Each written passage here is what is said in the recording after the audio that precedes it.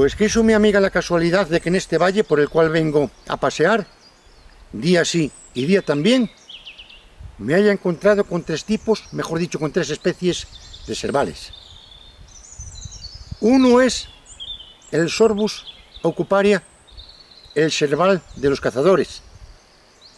Otro que no se encuentra muy lejos de aquí, a escasos metros, que es el Sorbus aria, prácticamente extinto en algunos puntos de nuestra geografía. Y otro este aquí presente, el cual os voy a dedicar, eso sí, pidiéndoos que si os gusta el vídeo suscribáis y que pongáis estos dedos al alza, porque amigos, todo ayuda.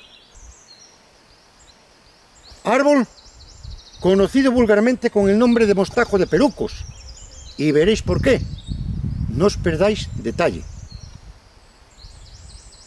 Los botánicos le llaman sorbus terminalis. Terminalis significa cólico, viene del latín y significa cólico.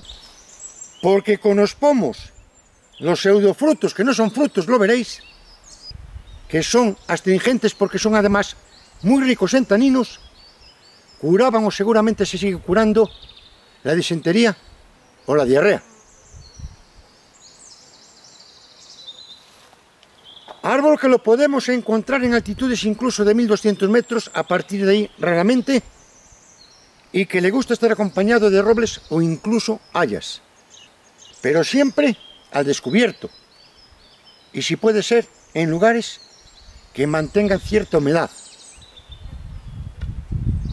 Se dice que es oriundo, mejor dicho, lo podemos ver en Asia, Europa y el norte de África. Árbol del cual se dice que llega incluso a medir 20 metros de altura, pero que este que tenemos aquí a grosso modo y siendo generosos, le vamos a poner 6 o 7.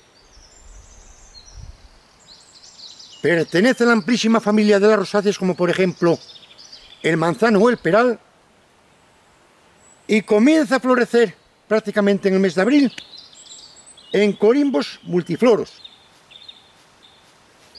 esta flor es pentámera, que viene a decir que está constituida por cinco sépalos, verdes sépalos, además pubescentes por ambas caras, y cinco blancos pétalos, prácticamente blancos, pétalos cortos. Flores hermafroditas porque contienen ambos sesos. El masculino constituido por unos 16 o 18 estambres el femenino por un ovario ínfero que viene a decir que se encuentra antes del resto de la estructura de la flor y además terminado en dos estilos. El ovario ínfero, obviamente, está contenido en un receptáculo velludo, pubescente, llamado hipanto.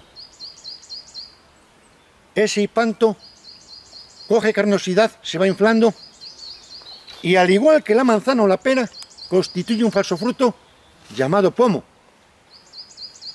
La carne que nos comemos de la manzana, como digo, o de la pera, es sencillamente el hipanto inflamado. El fruto, verdadero fruto, se encuentra en el interior.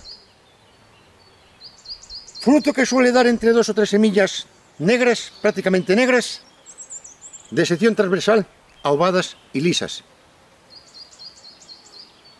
Pequeños pomos que cuando maduran, amigos, adquieren un color pardo anaranjado y podemos observar en ellos multitud de lenticelas. Las yemas son ovoides, con escamas entre 5 y 7 y con el margen de un color pardo oscuro. Respecto a las hojas, que son o constituyen una característica fundamental a la hora de discernir este árbol de otros, como veis, tienen un largo peciolo, un largo rabillo, y están profundamente lobadas. Fijaros que lóbulos triangulares que digamos están más hundidos en la base. El haz de un verde lustroso brillante más oscuro y el embés, como veis, más claro y mate. Los bordes irregularmente dentados. Respecto a la corteza, vemos que es de color gris clara, pero que con la edad se llega incluso a agrietar y se viene desprendiendo de la última capa. Pero la corteza de las ramas más jóvenes se muestra de un color prácticamente rojizo, pues estas inflorescencias tipo corimbo se traducen una vez están fecundadas en ramilletes de pequeñas peras. De ahí os comentaba al principio que le llaman por ello mostajo de perucos. Pequeñas peras que no son invitadas al consumo de los seres humanos porque se muestran amargas, tienen muchos taninos como dije, taninos buenos contra la diarrea o la disentería. Pero esa acidez, digamos, ese amargor, se pierde con las heladas y constituyen un alimento esencial en los meses fríos para los animales del bosque.